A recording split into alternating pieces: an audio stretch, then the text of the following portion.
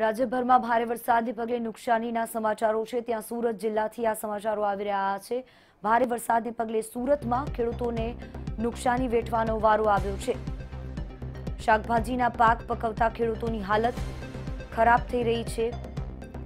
ઓલપાડ પંથકમાં માધર ખલીપર ગામમાં નુકસાનીની ભીતિ સેવાઈ રહી છે. કેળા અને સોયાબીન સહિતના પાકોમાં ભારે નુકસાન વેઠવું પડે છે.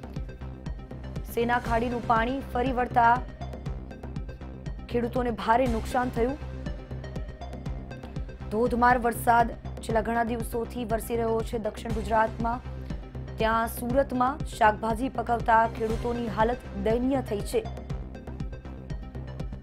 સંવાદદાતા સંજય મહંત અમારી સાથે જોડાઈ ગયા છે. સંજય, સુરતના એવા કયા કયા વિસ્તારો અને કયા કયા પ્રકારની ખેતી ત્યાં થાય છે? ખેડૂતોને કેટલી નુકસાનીનો અત્યારે ભીતિ સેવાઈ રહી છે?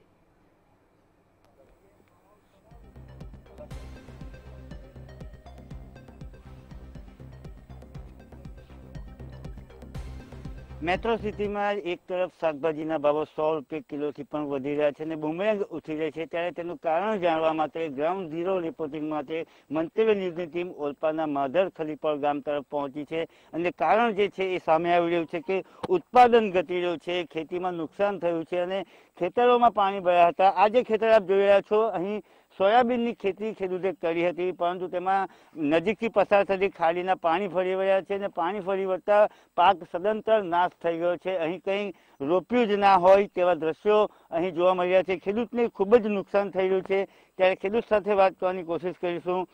જયેશભાઈ, કેટલા વીઘામાં સોયાબીન બનાવ્યું હતું? કેટલો ખર્ચો થયો હતો? કેટલું નુકસાન છે આપણે ચાર વીઘામાં મેં સોયાબીન બનાવેલું. બિયારણ હું લાવેલું આઠ હજાર રૂપિયાનું. ખાતર, ખેડ ઓરવાની મજૂરી આ બધું ગણો એટલે નુકસાન લાંબુ થયું છે. બીજા કયા કયા પાકો છે જેમાં નુકસાન થયું? મારે મેં ડ્રેગન ફ્રૂટ આ વર્ષે બનાવ્યા છે. એ મેં લગભગ સાડી સત્તરસો જેવા થાંભલા બનાવ્યા છે. એક થાંભલા પાછળ લગભગ હજાર રૂપિયાનો ખર્ચો આવે. એક થાંભલો તમે ઊભો કરો પ્લાન્ટ લગાવો બધું કરો એટલે હજાર રૂપિયાનો થાંભલો. મારે લગભગ એમાં ત્રીસ ટકા જેવું નુકસાન છે. પાણીથી ડૂબી જવાથી. આર્થિક નુકસાનીનો અંદાજ લગાવવા જઈએ તો ફક્ત આપને કેટલું નુકસાન થયું છે? હવે તમે ગણો સાહેબ મારે સત્તરસો પચાસ થાંભલા છે તેમાં ત્રીસ ટકા થાંભલા મારે મરી ગયા પ્લાન્ટમાંનો. એ નવે સટી લાખવાનો એકસો સિત્તેર રૂપિયાનો પ્લાન્ટ છે. હજાર રૂપિયાનો એક થાંભલો થાય મારે કમ્પ્લીટ કરું તો. એમાંથી હવે ત્રીસ ટકા જતા રહ્યા છે. કારણ શું સામે આવે છે? દર વર્ષે જ આ પ્રકારે પરિસ્થિતિ થાય છે. પાણી ભરાવાનું મુખ્ય કારણ શું? પાણી ભરાવાનું મુખ્ય કારણ અમારી ખેતરની બાજુમાંથી જે ખાડી જઈ રહી છે એમાં વરસાદી પાણીનો નિકાલ જ નથી થતો. ચાર ચાર પાંચ પાંચ દિવસ પાણી પડી રહી છે. પાંચ દિવસ પાણી આ ખેતર ભરેલું હતું સાહેબ. આમાં પાક હતો મારો. પાંચ દિવસ પાણી ભરાયું તેમાં બધો પાક મરી ગયો. હવે શું કરશો? લાખોનું નુકસાન થઈ ગયું છે. હવે શું કરશો? બીજું તો શું કરીએ? લાચાર છે. બે ને જોવાનું બીજું શું કરીએ? બીજું અમે શું કરી શકીએ? પણ હવે આ કઈ થાય આગળ આ બધી દિવાલો આવી ગઈ છે સાહેબ. જોઈ શકો તમે. હવે એ દિવાલો આ બધા બનાવી છે. બિલ્ડરોએ ફાર્મ હાઉસ બનાવે આ બનાવે. એ લોકોએ ખીડી ખાડીમાં પીચિંગ કરીને ખાડી એટલામાં નાની થઈ ગઈ. પાણીનો નિકાલ નહીં થાય તો અમારે પાણી આ બાજુથી ઉતરે કઈ રીતે સાહેબ? પાણીનો નિકાલ નહીં થતા લાખોનું નુકસાન છે અન્ય ખેડૂત પણ શકે સાથે છે. હરીશભાઈ ગામની વાત કરીએ તો કેટલા વીઘામાં કયા કયા પાકમાં કેટલું નુકસાન છે? અમારે ત્યાં એક તો આ જયેશભાઈનું ડ્રેગન ફ્રૂટ છે સોયાબીન છે મારે મરચી છે અમારા મહેશભાઈ છે કનુભાઈ તેમની કેળ છે.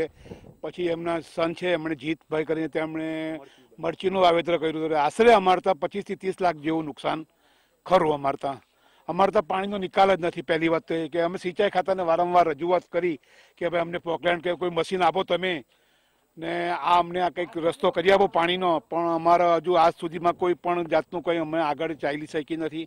અમે એમાં લાચાર છીએ બધા ખેડૂતો. ને આ પાણીનો એટલો બધો ભયંકર ભરાવો છો કે અમે ત્રાસી ગયા છે. હરીશભાઈ પાણીના ભરાવાની અને ખેતી પાકના નુકસાનની લગભગ દર વર્ષે જ આપણે વાતો કરતા હોઈએ છીએ રજૂઆતો કરતા હોઈએ છીએ.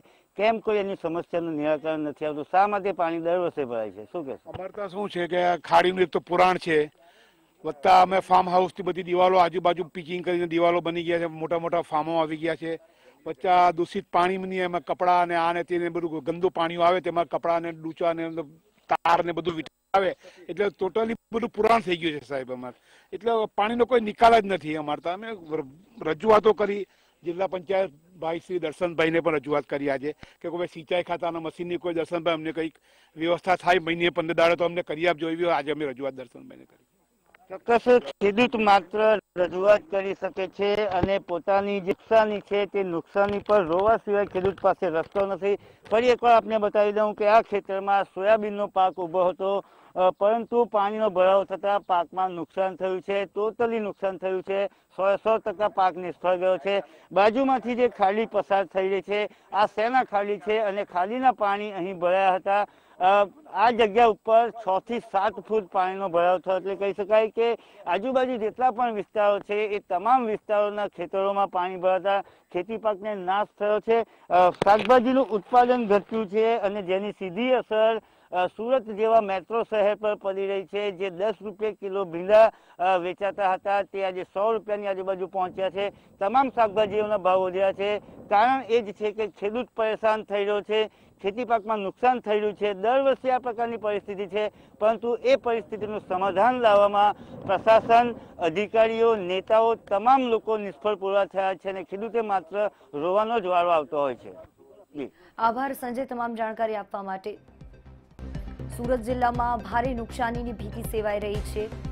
ખેડૂતો હેરાન પરેશાન થઈ ગયા છે. ભારે વરસાદને પગલે ખાડી વિસ્તારનું જે પાણી છે તે ખેતરોમાં ફરી વળ્યું હતું. સોયાબીન સહિતનો જે પાક છે તેને મોટા પ્રમાણમાં નુકસાન સેવાઈ રહ્યું છે.